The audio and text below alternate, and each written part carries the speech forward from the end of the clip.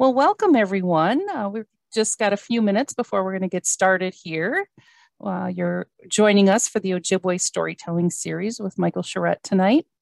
And where what we'd like for you to do, if if you could get into the chat box right now and just type your name and tell us where you're from. We always like to see where people are call are viewing from, I guess I should say. I am joining you from Ashland, Wisconsin. I live in Bad River, but I am at work tonight. Oh, Sam is from Hinckley. Oh boy, they're coming fast and furious. Minneapolis, Round Hills, Monona, Lake Tomahawk. I actually know where that is. Uh, Whitewater, Duluth, Bayfield. So you got some friends here, Michael, from Red Cliff and Bayfield joining you tonight. Uh, I'm going to have to pull these up. Madison, Rhinelander, Ashland, my sister from Milwaukee, my other sister from Duluth, Bob hey. from Janesville. Mm. I just saw Tennessee and Chicago and Canada. Winnipeg, Manitoba. Welcome, Canada. That's fantastic. Dousman. So it's just, it's great to have all of you here. We're all very, very excited here.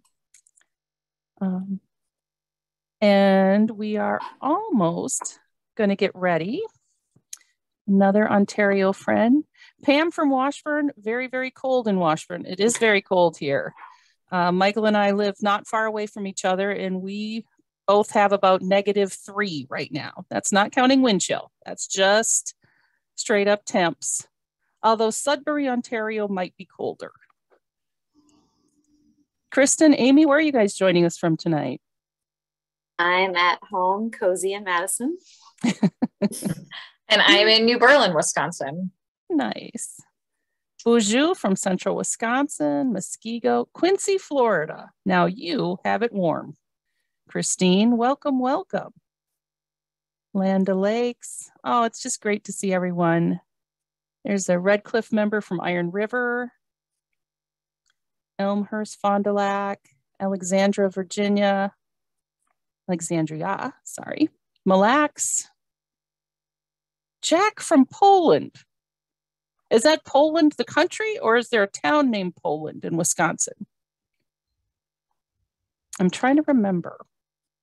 Bella from Redlands. That's my my daughter Bella. Thanks, Belle. and she's out in California, sunny, warm California. How are we doing on time, ladies? We're ready to roll? I think we ready are. if you are. Perfect. Okay, so what we're going to do from now on uh, is we're going to close the chat box for now and probably keep it closed throughout the whole evening. Michael's going to, going to share with us his culture and his stories and his flute playing. And if you have any questions, put them in the Q&A box. There are two separate things down there. There's Q&A and then there's chat. We're going to close chat because it kind of pops up and we don't want to distract Michael. But Q&A is something that Amy and Kristen and I are going to be monitoring uh, the whole time. And uh, at the end, there'll be about five minutes for, for Michael to take some questions. Kristen, can you move to the next slide? And this is something uh, we have now because many of you have seen him before. He's played at Big Top Chautauqua. He's played in lots of schools. He's done quite a few Zooms, he says. And he's certainly on Facebook. You can find him at Tales of Laughing Fox or just under Michael Charette. Um, he's got uh, a website there. He's got a YouTube channel, uh, Instagram. So there's lots of different ways you can find Michael after. So if we don't get to your question, I do apologize, but you certainly will be able to, to get a hold of him after. You can also send us an email as well. Uh, all right, now if I'd like to introduce Michael, Michael's a Red Cliff uh, tribal member of the Chippewa Nation. Chippewa and Ojibwe are the same thing. I always like to tell people because they get confused. But uh, Michael is joining us from just up the road from me, a very talented artist. Um, and I'm going to turn it over to him so he can introduce himself in our language and give him as much time because I know that's what you guys are here for. So thank you for joining us tonight and take it away, Michael. Oh, miigwech, miigwech. Um, bonjour, Indanawe Maganiduk. Uh, hello to my relatives. Bapewa Gush. Laughing Fox is my name. Misquabi Kong Nindunjaba. Red Cliff is where I'm from. Nindamigizi Dudame. I'm from the Eagle Clan. It's a great honor for me to be able to come and present um, stories and flute music from the Anishinaabe culture. And um, I'm very, very honored to be here to see so many uh, people um, logging in and, and checking it out.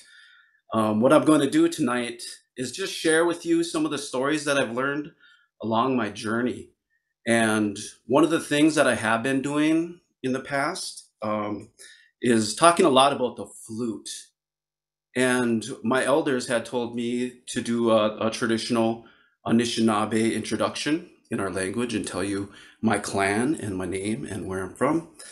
And also talk about the flute, um, because the flute is an instrument of um, of healing. It's a it's an instrument of that was created out of love, you know, unconditional love.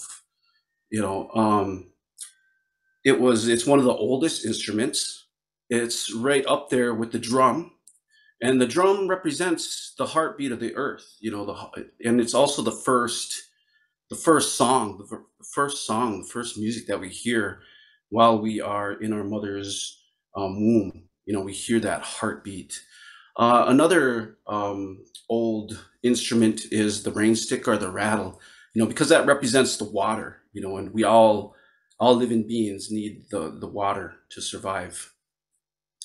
And then we come into uh, the Native American courting flute, or the flute in general. And every culture all across the world has some sort of a flute. You know, they have some sort of a, a instrument like this, and they all have uh, different creation stories. And tonight it's my honor to share with you the creation story of the flute that I have learned.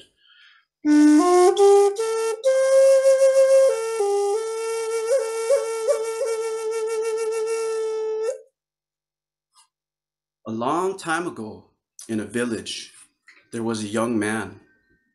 And this young man was of courting age. And he fell in love with this young woman in his village. And he would try to go up to her and let her know how he felt about her. And when he would try to do this, um, he just couldn't, he couldn't express himself. You know, he was just too um, enamored by how beautiful she was. You know so he kind of stayed in the background and and he watched as other young men of courting age um, would go and present her with gifts and and speak with her. And this kind of frustrated him. And he remembered in his stories that there was a, a love medicine out there. And he thought to himself that if he could find this love medicine that he could present it to her and then she would know how he felt about her. He had heard that the Ayabe, which is a huge albino buck that lives to the west, carried the love medicine. And he thought that if he could find this Ayabe, then he could get that medicine. So he packed up a bunch of provisions and he set out into the woods. And he found the biggest set of tracks out in the woods that he could find. And he thought to himself, this is it. This has got to be the Ayabe. So he followed the trail and he's going through the woods and he's he's watching and, and once in a while out of the corner of his eye he would see a blur go by a white blur out of the corner of his eye and he would pull back his bow and arrow and it would be gone and this this happened for days and days and days finally exhausted from his travels he made this fire underneath this great cedar tree and as he sat there thinking about his heart's desire, he started to drift off into sleep. And that's when he heard the night song.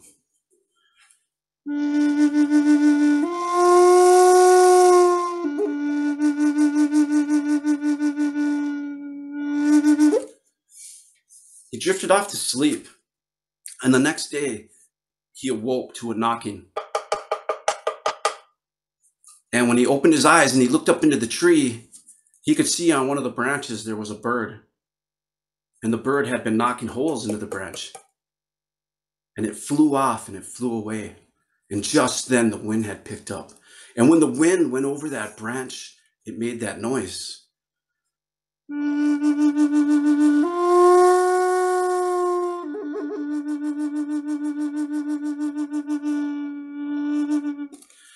He knew that that was the noise, that was the sound that he was looking for.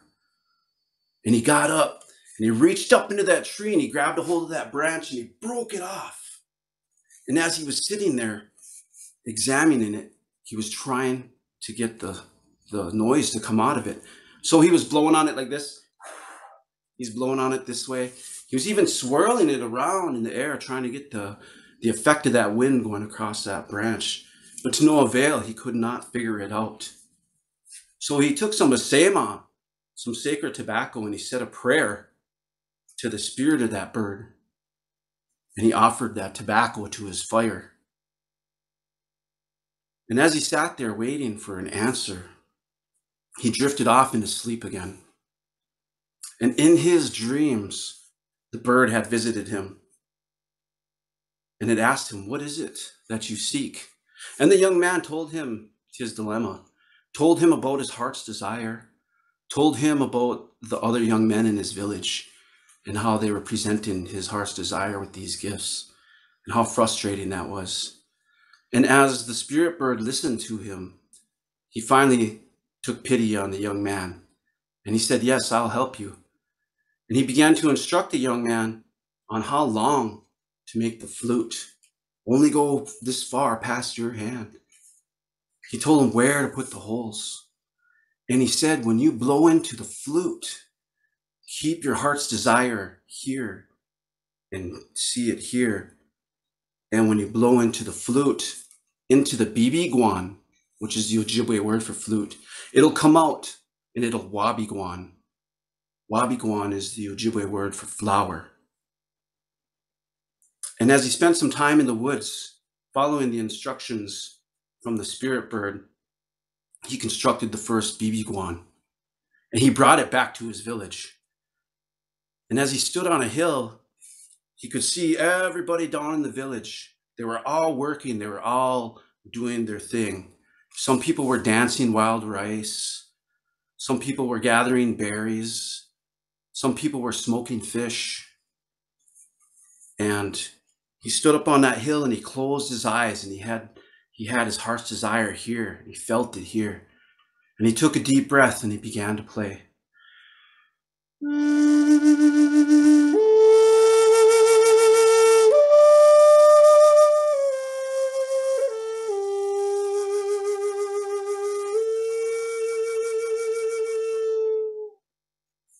the sound made its way down the hill into the village where the people were working.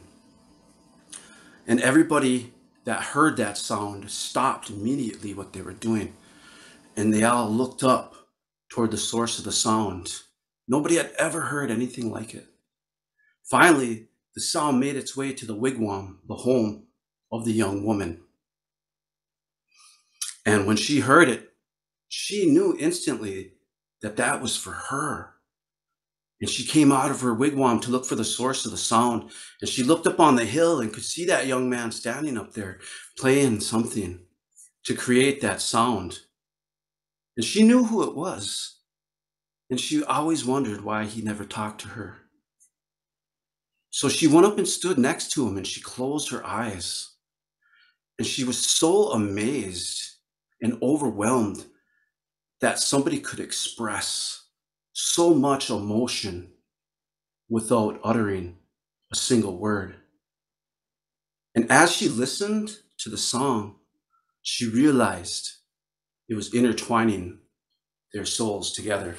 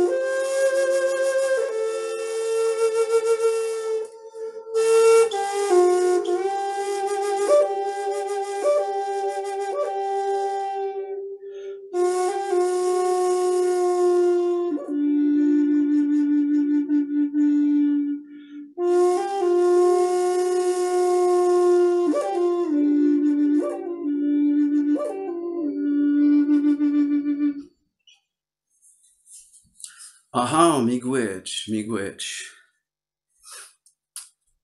When I first started to learn about the Anishinaabe culture, um, I was really, really young. I was very young. Um, I was blessed to have the same uh, Ojibwe language teacher, language teacher, storyteller, arts and crafts person from uh, kindergarten all the way till I graduated high school. And every winter, um, our teacher would come to our class at our school and she would tell us stories of the Anishinaabe people in the culture, in the ways. And one of the first stories that I learned while I was in uh, kindergarten, you know, when you're young in that age, you have a lot of energy and you run all over the place, you know. And me and all the other kids were doing just that. We were running all over the place, you know. And she would come in there and she would say, Beka, Beka, you know, hold on, wait, wait. I'm Beoma, come here. Isn't done. Listen. She said, I want to tell you a story about Winobuju. And we all looked around thinking, who is Winobuju? You know, and she said, Winobuju is our trickster. He's also our hero. He teaches us how to live and oftentimes how not to live. And she goes, Come, gather around, sit in a circle and, and done and listen. And all of us kids, you know, in, in kindergarten, we all we all go and circle up around her and I'll sit on the floor as she would tell these stories to us. She goes, Now all you kids are all running around here thinking that you guys know everything. Well, I'm going to tell you a story about Winobuju and about him seeking knowledge. And she said a long time ago when Winobuju was just a young boy, when he was just as big as you guys in here now, he would go around his village and he would talk to the elders and he would he would tell the elders, you know, what to do. Some of them were fixing their wigwams. He would tell them the best way how to fix that. Some of them were making traps, and he would go and tell them the best way and how they should do that. And they all had the same response. Oh, Winobuju, you know, Bazanian, be quiet, Majan, you know, go away. You're just a kid yet. You know, you you gotta you got a lot of learning to do, you know. Majan, go away. You don't have that experience yet. And this frustrated Winobuju. You know, at the time, Winobuju always sought the counsel of Nokomis his grandmother. And this time was no different. He went out into the woods and he sought the counsel of Nokomis. And he said, Nokomis, Nokomis. And she said, Yes, Winobuju, what is it? And he says, I have a problem. She goes, Oh, tell me, Winobuju. He said, When I go through the, the village and I see people doing these things, he said, I try to tell them how to do it better. He's like, but none of them want to listen to me. You know, they all say I'm just a dumb little kid and I should go away and go and play and be a kid. He's like, but I want to help. And he's like, and I know my ways are the best. And she goes, well, what are you, what are you looking for, Winobuju? He said, I know you're very knowledgeable in medicines, Nokomis.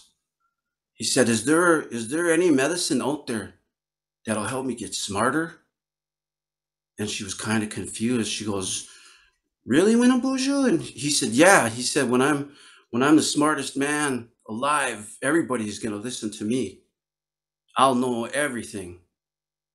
And she thought about this for a while, and she goes, "You know, Winobuju, I just might have the right mishkiki for you. I just might have the right medicine for you, but you, I'll have to go and look for it and gather it, and you'll have to come back." So Winobuju was really happy about this. So he went off into the woods, you know, and he was he was thinking about how everybody was going to listen to him.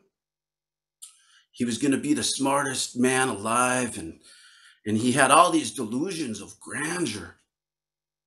And finally, he was so excited that he was going to become the smartest man alive. He went back to Nokomis and sought her out.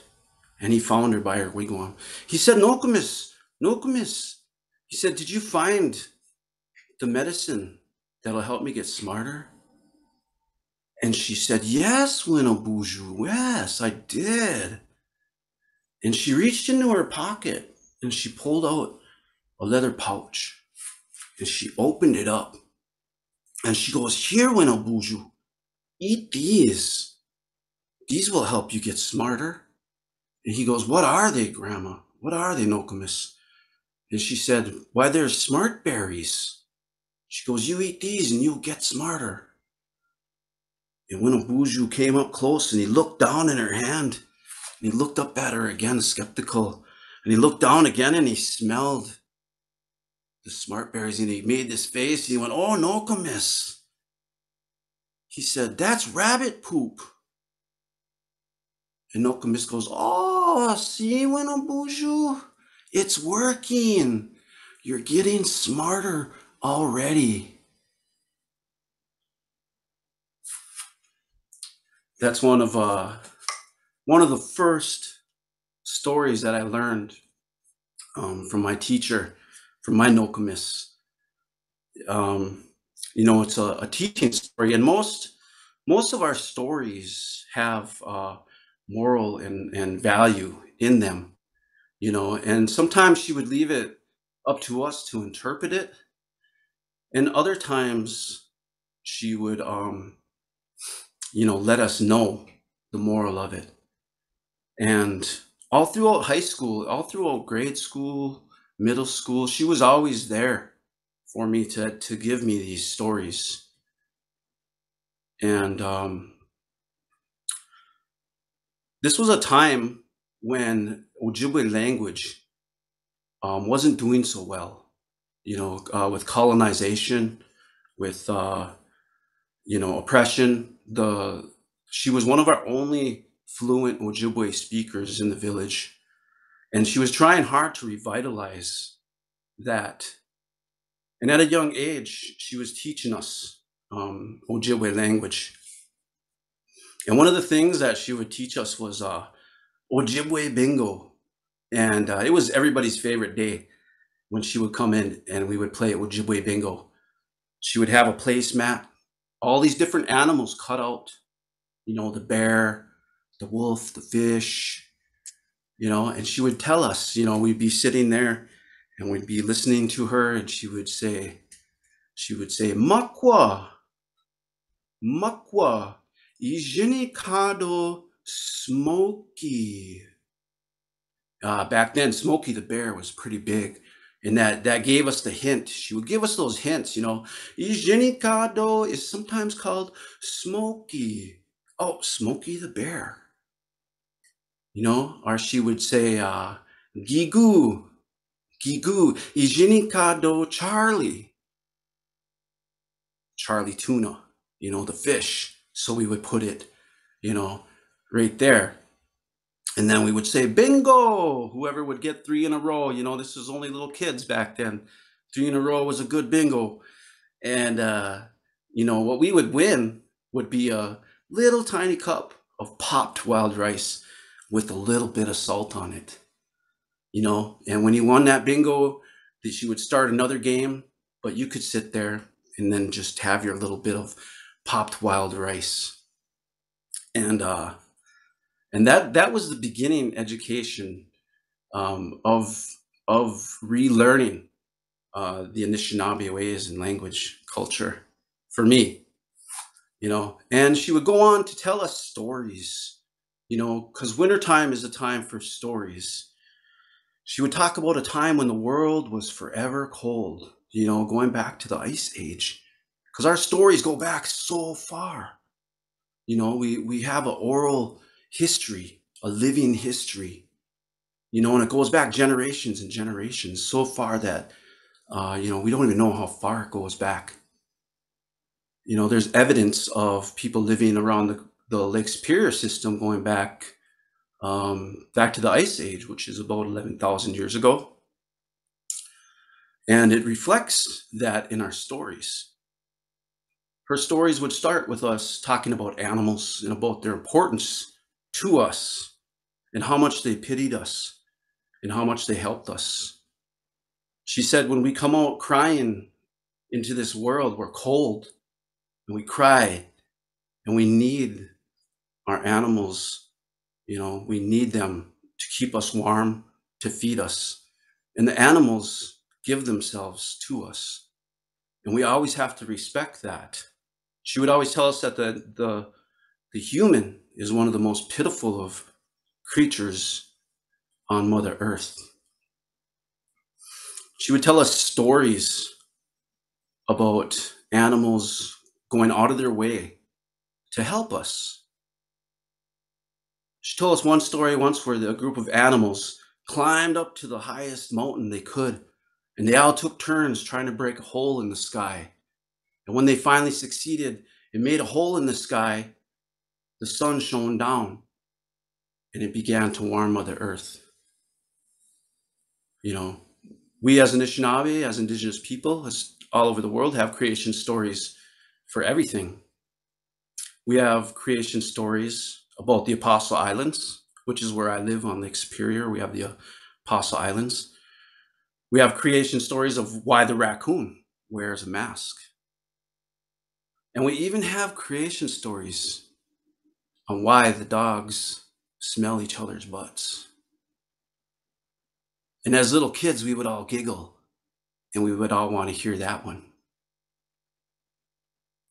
And she would say to us, a long time ago, all the animals would gather in council.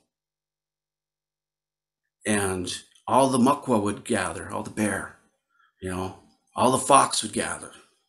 You know, all the animals would gather in their own separate councils. And all the dogs gathered too in their own lodge. And as the dogs were having their their meeting, you know, they would take off their coats before they went in. They would take them off, you know, to become equal. And they were hanging them up outside their lodge on poles. And as they went into the lodge, you know, they went in to discuss serious Onimush business. Onimush is the Ojibwe word for a dog. To discuss some serious Onimush business. Maybe it was chasing about chasing squirrels, chasing around Gajagants, cat. So while they were all in this this big circle in this lodge, you know, the Animushug from all over the world, you know, were gathered in this one lodge. And they were sitting there discussing all these all these things. And there was this little bitty dog, little bitty dog just sitting there listening, you know, to all the important stories. And then he felt something. There was a churning and a bubbling sound coming from his belly. And he kind of looked around, you know, and, and he was watching. Everybody was in serious ceremony mood. You know, they were all, oh, yes, yes. And then he realized that he had to boog it. He had to fart. So as he's sitting there listening, he thinks he can hold it and make it through this till the end of the ceremony, but he, he just can't. His belly's just rumbling and gurgling and churning. And he's even like trying to sit on his hind legs a little bit, trying to like help him out, but that's not even helping. So he thinks to himself that if he can, you know, bend over a little bit and little let a little bit out, you know, he'll be, you know, he'll be good. So that, that's what he tried to do. He tried to kind of bend over while they were talking a little bit and tried to let it out without making a, a sound, but it didn't work that way. He let out this huge booget.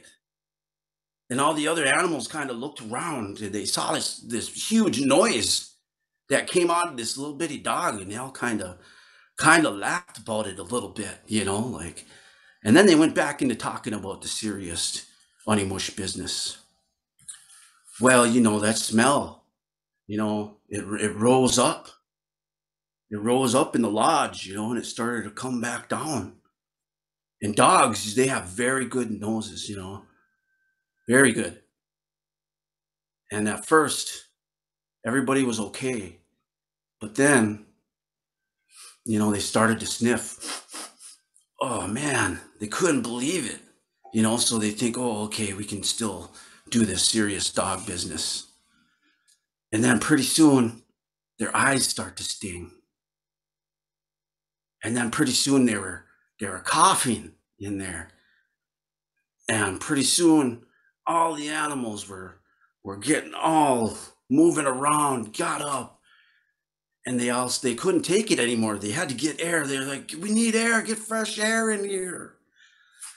And they all started to run out. Their eyes were burning, their noses were running, and as they pushed their way out of the lodge, they didn't care. They just started to grab whoever's coat was there, and they grabbed this coat, put it on, and they left. You know, and all the animals left left the ceremonial lodge that day and they all took off and, and ran away. And it is told by my teachers that when dogs now meet each other, because their noses are so strong, that that's the only way that they could tell if that's their coat. And when you see dogs meet each other today, that's the first thing that they do is they go around to under the tail and they sniff, you know, is that my coat? Are you wearing my coat? Oh, oh. Miigwech, miigwech. Just a just a story. Just a fun a fun story. Um about the Animush, about the dogs. And um you know, there there's stories, like I said, there's creation stories for everything. Uh, it reminds me of another dog story that I heard from her. And this one is really interesting. Uh, she had said that one time that the dogs, you know, were part of the animal kingdom, but something had happened to them. And she said a long time ago, you know, that they all worked together with all the other animals. And she was, um, the dog was, uh, started to hang out with the human. You know, the human started to feed the dog. So the dogs were were hanging out, kind of getting a free meal. And the humans fell out of balance and they began to take more than what they needed. And they, be, they began to take more of the animals than what they needed. You know, and this troubled the, the animal kingdom very much that they had to have a huge meeting about this. And all the animals gathered, including the Animush, in a big meeting and they all discussed the humans and how the humans were living out of balance and how they were treating the animals, how they were treating their brothers and sisters. And the animals couldn't take any more abuse from the humans. And they decided that they were going to go and they were going to kill the humans and they were going to take care of them once and for all. And as they discussed plans and, and, and decided to ambush, ambush the humans, um, the Animush listened. You know, he listened to all their plans and and later on that night, the Animush, he snuck off. He snuck out and he went and he went back to the man's camp, back to the village. And he went and he told the men what the animals had planned. He told them uh, what they were going to do. And the, the humans then discussed on what they were going to do.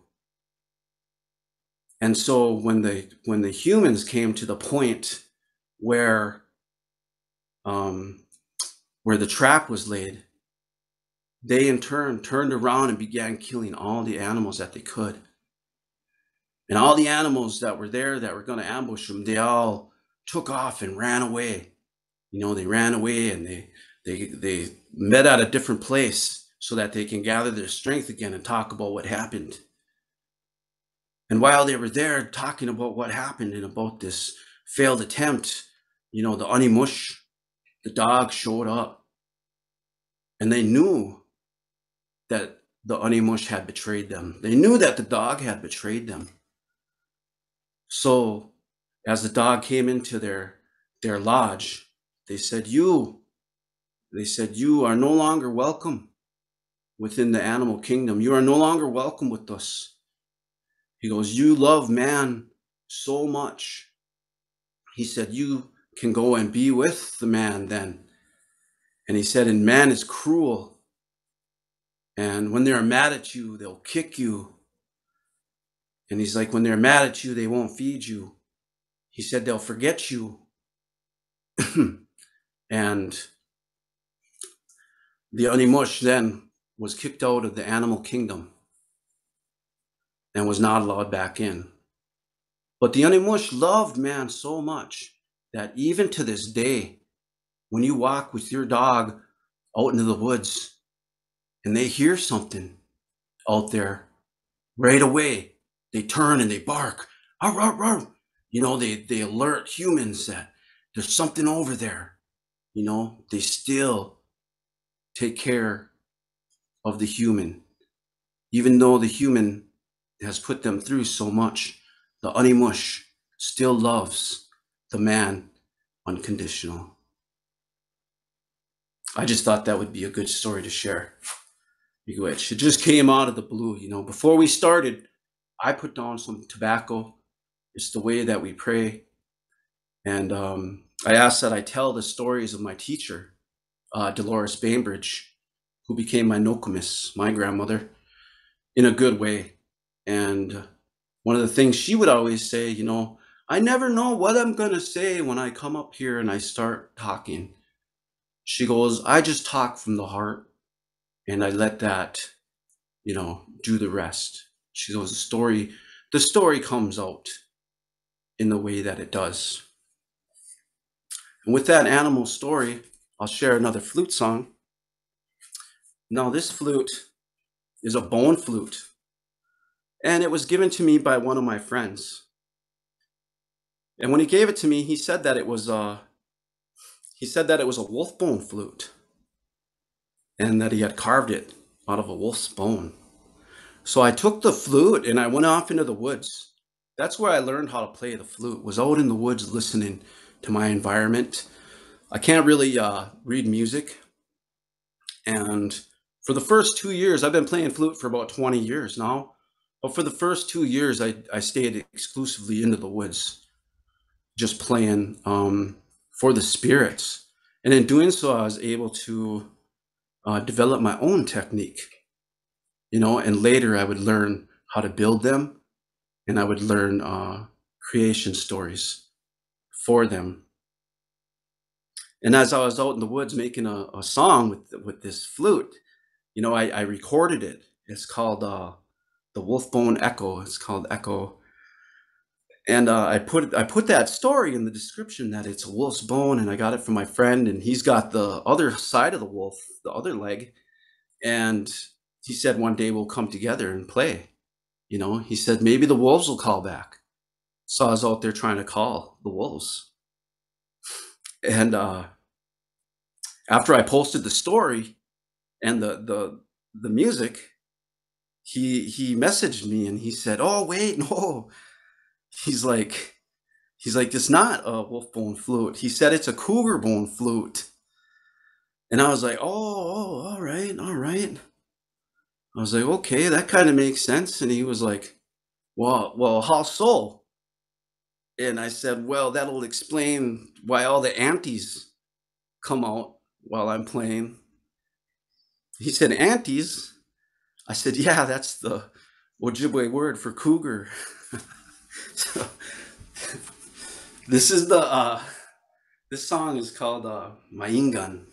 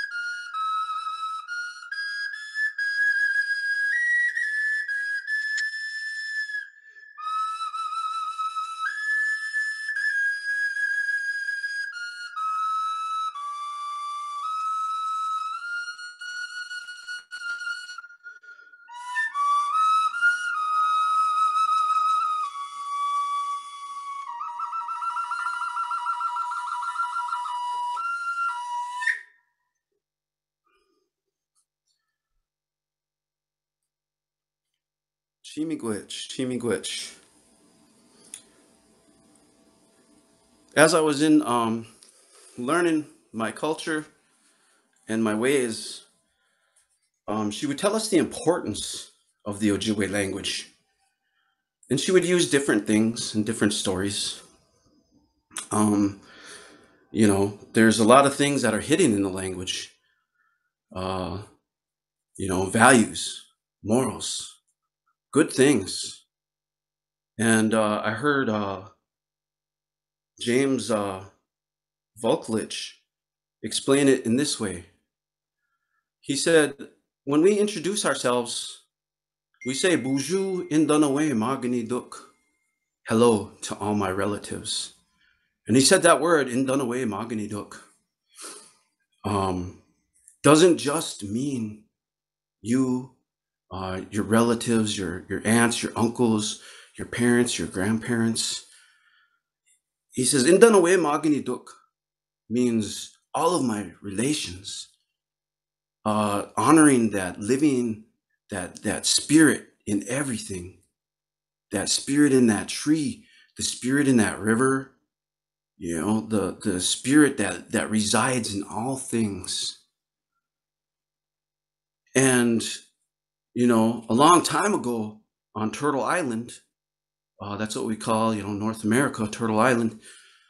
Uh, when you had a whole society of an indigenous population believing that that everything has a spirit then it makes it that much harder for us to take you know today you know we're kind of offenders of the great rule you know habitual offenders are the great rule of take only what you need you know and that word in Dunaway Maganiduk, all my relations, all my relatives, is such a powerful word.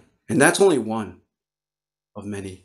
You know, our language was outlawed um, until uh, 1978. You know, uh, we got here in the States, in the United States, we had freedom of religion in 1978. And in 1968, we had freedom of speech. And that's only 40, you know, 43 years ago. And before that, we had generations of silence. So now, as we go forward and, and relearn, you know, our culture, um, you know, we realize that um, sharing our stories and our language is a way to help preserve it and pass it on uh, to the next generations. And I would sit in Ojibwe language class, you know, and I was kind of a trickster back then, and she would always get down on me, you know, my teacher, Dolores Bainbridge, my Nokomis. She would say, Bazanian, you know, Byzanton, you know, be quiet and listen. And she would go in, you know, I would wonder, well, you know, why is the language so important? And she would, she would um, tell us stories to answer our questions. And she said a long time ago, you know, um, back when we started to lose our language, she goes, there was two young children, a boy and a girl, that would go on visit their Mishomis, who lived out in the bush, lived out in the woods, their uh, grandfather. And she would, she would, uh, the mother would send them off with the grandfather, you know, they'd go and visit and they loved it because they were out in the woods and they could play. And one day they found this spot out in the woods, you know, in a big open spot. And as they were playing, they heard a, a voice saying something out in the woods. And as they listened, they heard this voice say, Anindi the Toyan. And they looked at each other, you know, because they didn't know what it meant. Anindi the Toyan. And they were afraid. So they ran all the way back to their grandfathers from out of the woods and they came in and they said, Mishomis, Mishomis, grandfather, you know, we hear something in the woods. We don't know what it's saying, but we think that you might know because we heard you speak that language before. And the grandfather said, Oh, oh, really? Well, come show me the spot. Show me where to go. And they led their grandfather back to the back to the place in the woods where they heard that that sound and that noise. You know, Anindi the Toyan. And the grandfather heard it. And he looked at the kids and he he shouted back, Odatun Aya Gi Mikanan. And he told his grandchildren, Now come, come back, let's go. Let's go. And later on that night, when they're sitting around the fire, the little kids asked the Mishomis, they asked their grandfather, Grandfather, what was that voice? And what did you say? And the Mishomis said, That voice was saying, Anindi de Toyan. It means, Where should I put it? And I shouted back to him, Atun Aya Gi Mikanan. Put it back where you found it. He explained to the kids, he said, You see, when the spirit was alive, it had taken something that did not belong to it. And that prevented the spirit from going and traveling on to the next world. And I told him, Odatun Aya Gimikanan, put it back where you found it. And the little kids thought about that for a little while. And, you know, as time went on, they, they went back out in the woods and they listened for that voice again. But they couldn't hear it, it was gone. Now, when we're little kids and we hear these types of stories, you know, they're they're instilled in us, they're embedded in us. And you know, don't take what does not belong to you. You know, became uh became a part of who I am. And that's why these stories are so important to pass on you know, generations of generations of Anishinaabe have have used these stories as guides on how to live the Minobamadiziwin on how to live the good life. Chimigwich, Chimigwich. I really love being able to share stories um, about about my teacher and um, we can sit here and go on and go on for a long time and, and keep talking. I'll share I'll share another one with you that um, that she used to tell us. You know, when I was in uh, when I was in school, uh, you know, I wasn't the greatest greatest of students. I'll be honest with you, I wasn't the greatest of students. Um, but somehow I listened to the stories and they ended up you know, helping me as they do each and every day. And uh, I got into some trouble and I ended up uh, sitting on the steps of gym class and crying one day. And she came, her her door, her arts and crafts place was was right next to the gymnasium. And she came and she asked me what was wrong, you know, and I said, oh, blah, blah, blah, so and so, you know, said this because I was acting like this. And now I'm in, in this timeout you know, and I was crying, you know, and I was pretty upset. And she said, I'll tell you a story. I said, Oh, okay. And she said, A long time ago, um, the world was always cold. And Grandmother Moon would look down upon the earth in a cold way. And as she looked down, she noticed on the shores of the lake there was a little girl who was crying and crying.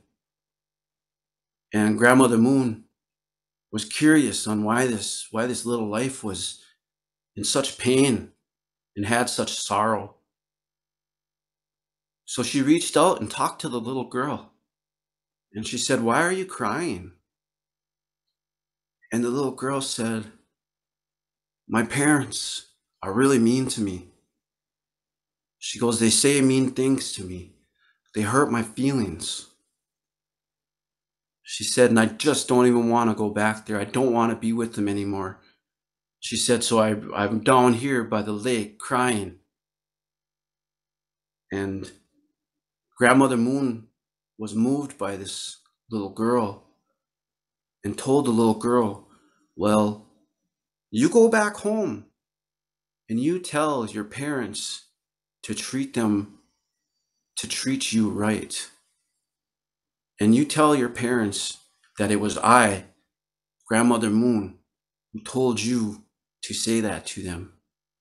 And the little girl, you know, kind of wiped the tears off of her cheeks, you know, so amazed that that Nokomis, that Grandmother Moon would would be talking this way with her.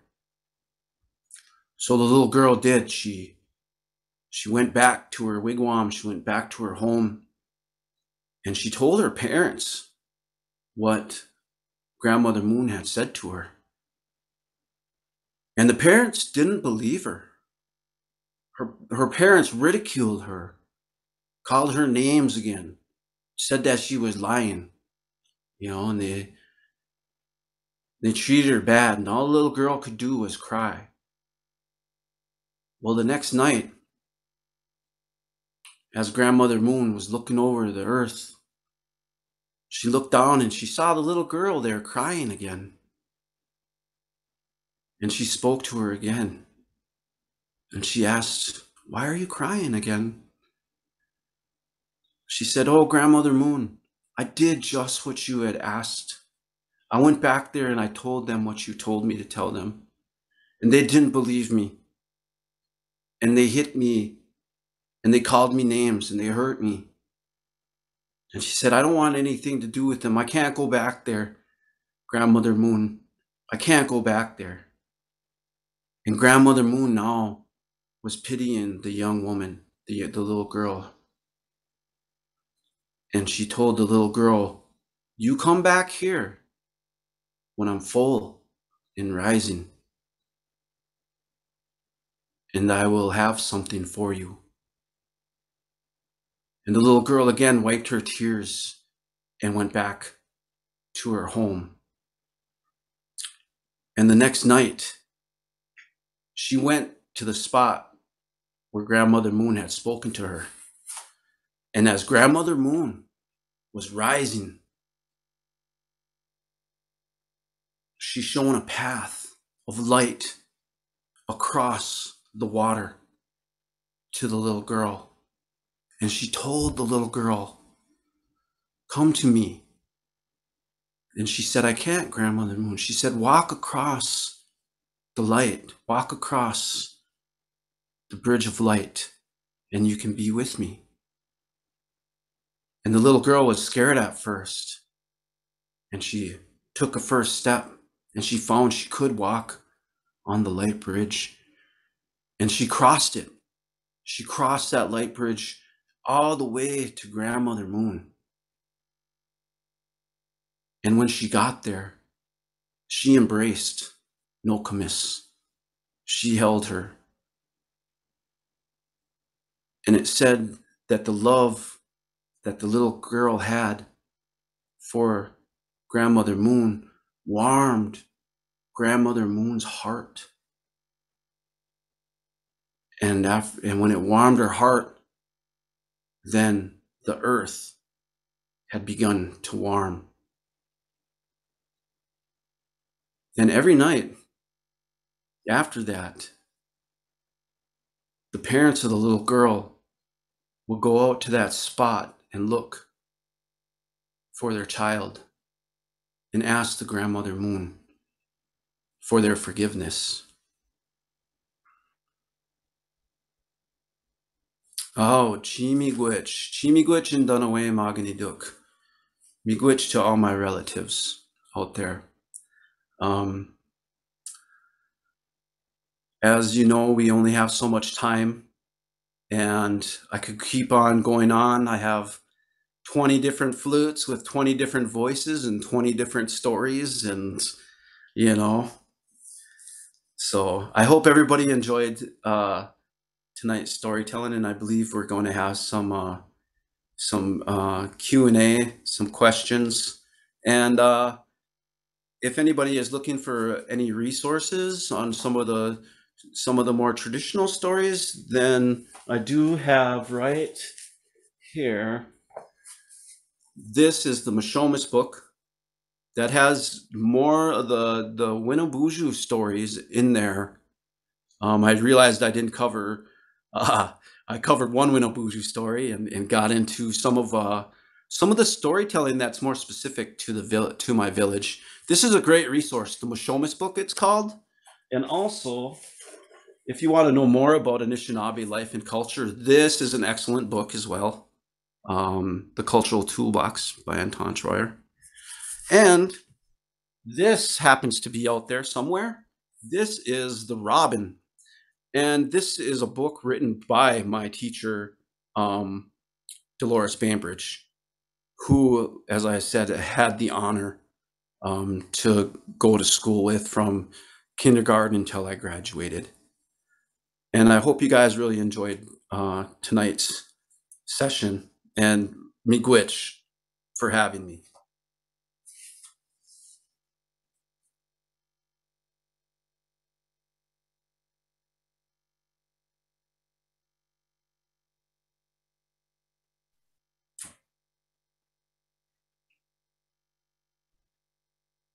Liz, I think you're muted.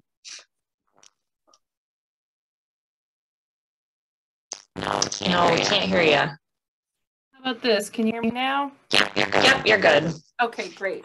Well, I was going to say, Michael, thank you so much. Every, you know, I could listen all night, as I'm sure the 500, 600 other people that were here tonight.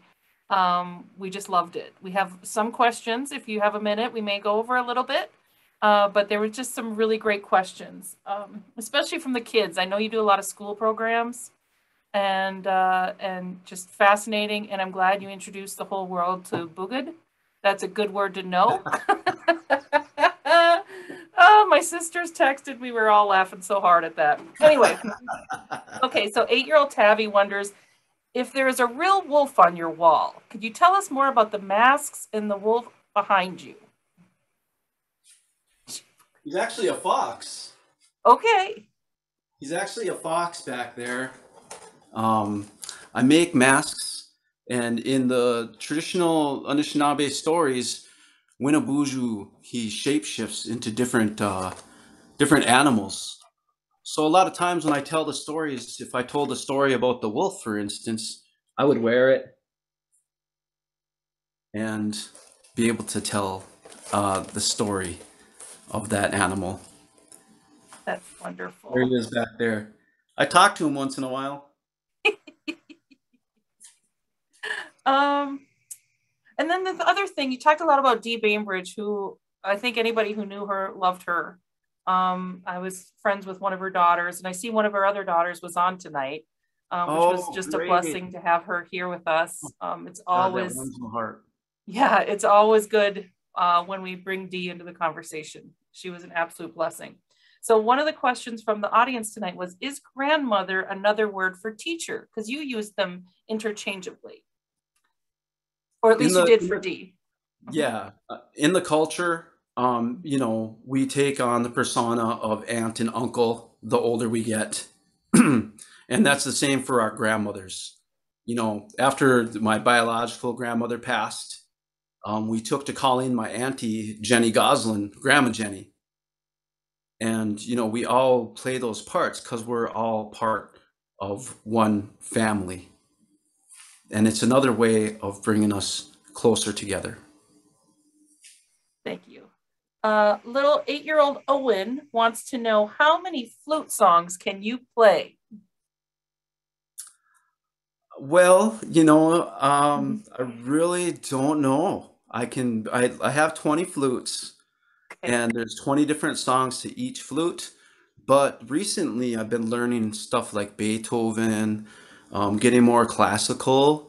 on it because music is really a universal language and it doesn't matter you know um, your cultural background because that music is going to affect you in that in that way and um, i'm always honored and i'm very blessed to be able to share that flute music. Because like in the story when people stop to listen to that music i see the same effect on people especially in airports. And in airports people are traveling from one place to the other and they're from all over the world. And no matter what language they speak as soon as they hear that flute they actually slow down a little bit and they listen and they take a moment and they listen and that always astonishes me and i'm always blessed to be just that little a little bit um, part of that. They had another follow-up question about that, that these are beautiful songs. And are they played the same way each time? Or do they kind of come from the heart and you play them differently each time? They grow like flowers. They really do. Um, a lot of it I learned in the woods, being immersed into that uh, pristine environment. And um, I play what what most would call a pentatonic scale, and I didn't learn that until many years after I was playing. Um, but that's like one of the first musical scales that is recorded. Um, and yeah, we each song I play is a different song. And, and of course, um, we're also getting a lot of questions about your attire and your your face. Uh, Yes. Pete, so can you explain a little bit more about what's going on? Okay, this is a traditional. I'm, I'm a traditional dancer, also a flute player, and my mother and um, many of my friends have pitched in to help make this. I was I was living in a in a tough way at one time, so my grandmother from a lodge, uh, Connie Mose, actually made this vest, and it's got a butterfly on it. And the butterfly, of course, stands for new beginnings. Um, the flowers headband is done by a Bad River uh, friend of mine, and um, yeah, I just love it. It's so beautiful. The face paint that I wear is um, it's for as a form of storytelling as I as I go along in life and and storytell. It's like a different kind of a a hat that you would wear when you go to work and um, something that the spirits would recognize me as. And I started doing this when I was a young man, and I went on my first fast in the woods. Um, I was taught to uh, take some medicines and use them on my face for uh, so the spirits would recognize me.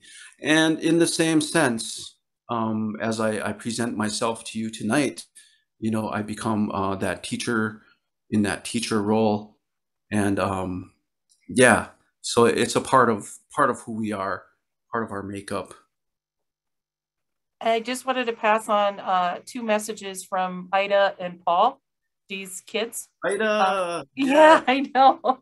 Ida said, um, thank you for honoring my mother, Dee Bainbridge. I'm her Oh, oldest daughter. I recognize you and I love your flute. And then Paul, her uh, son, said Dee was a pioneer and I'm certain that she's very proud of you, Michael. oh I'm sure that Ma is laughing tonight and saying miigwech, which I'm sure she is too. so thanks, Paul and. Ida. That that means a lot to to Michael and and me. I'm, I'm actually kind of tearing up thinking about her. does. It means a Um. She was a beautiful woman, um, inside and out. Uh, we do have a nice little question from 12 year old Miguel, and I know we're running a little late, but how did you get your name Laughing Fox? Miguel wants to know. well um you know we we kind of had to relearn um our culture and when i came became the age where we fast um i tried to go out and fast and and the the person who was going to put me out on a fast had let me know. He let me know he's like do you have a, a indian name? Do you have a Anishinaabe name a spirit name? And i said no. And he said well you need to have a name before you go out there and and so that the spirits can recognize you. And so i gave tobacco you know which is one of our four sacred medicines to a person who knew the naming ceremony and he took that tobacco and the gifts that i gave him and, and he prayed for a name and he smoked the tobacco in his pipe. And later, later on, the following spring, when all the spirits wake up, then he had a name for me, and he presented me uh, with that name, Bape Wagush. Now, normally for a spirit name, you know, we would give that to our newborn children, but because of you know colonization and you know the we the ways we're we're oppressed, so you know I use my name Bape Wagush, Laughing Fox, as more of a form of of empowerment to help empower um, our culture and our language and really so that other people can hear how beautiful it sounds and we could um, slowly make our way back to, to naming our kids again. Um, in our in our language you know don't get me wrong michael sounds cool but you know there's so many michaels in the world that you could wrap us around the world twice and probably two-thirds of us would perish because of the water so Miigwech for the questions. um, the other thing, we're getting a lot of questions about how to get a hold of you. Kristen, could you put up uh, the slide with his? Oh, she's also putting the website in the in the chat box. A lot of people are looking at trying to buy a CD, and that's available on your website, I believe, right? Yeah. You also have a YouTube channel. It leads you to a Bandcamp. The Bandcamp has uh, my albums on there. Okay. And there are, there are storytelling on the albums. So these are all ways that people can Yeah. get a hold of you. Um, Oh yes, sure. I'll hold up the books again. yeah, they definitely, definitely want to know about the books. These are some good, just some good resources for you people or for anybody who would like to learn a little bit more about the culture.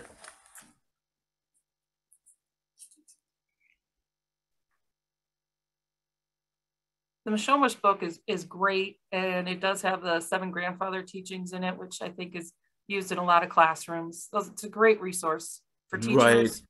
You know, you're exactly right about that. Um, Well, I think that's about all we have uh, time tonight. Um, there's a few more questions, but they're probably going to have to get a hold of you. Uh, and, and follow up with it. And we'll be sure to send you, Michael, the um, questions and and hopefully we can we can get some emails exchanged so you can get in touch with folks if that would be okay. Yes. Awesome. Yeah. And um, how how far are you? Well, I would say uh, how far are you willing to travel? But I know he's willing to travel because Michael's going to a Crazy Horse Monument this weekend, I believe, to do an event. So that's out in South Dakota. So um, I'm sure you're willing to to go around Wisconsin a little bit to share your stories as well. Yes, yes, and hopefully when COVID lifts, I'll be traveling uh, to different communities around the world. Yeah, that would be great. No. Um, the other thing, uh, oh, if Kristen, if you could just put up the next slide, I just want to remind everyone that we're we're doing four of these. Uh, next week we have Edith Bardot Leoso, who's from Bad River, uh, my tribe, just around the corner from Michael. We're about 45 minutes apart, our reservations, and same time, same place. Uh, next week at 7 p.m. Tuesday, and then we'll hopefully have Michael in the audience, and maybe you can get some good stump questions for for Edith. Nice. The, the last thing we have is uh, please tell us what you thought. Go to our our survey. We have a little survey at the end. It's also a place where you can add questions. It also is a place where you can tell us more of what you want. There's a lot of questions in here, Michael, about flutes. We might have to do a whole separate thing just on the history of, of flutes with you. Uh, there's a lot of questions about um, bone flutes and, and oh, do you have other ones? Do you, you know, just like you said, you have 20 different flutes. Um, so there was a lot of interest there. So yeah, just give us some more information on that. We would love to hear what you're thinking, what you thought of tonight, and what you'd like to learn more of. We're really excited to share this entire series with you. We're thrilled um, we got to share Michael with you and that he shared his knowledge with us. I'm just so grateful, so grateful. Miigwech. Miigwech. All right. We'll say goodnight and we'll see you guys next week. Okay, bye.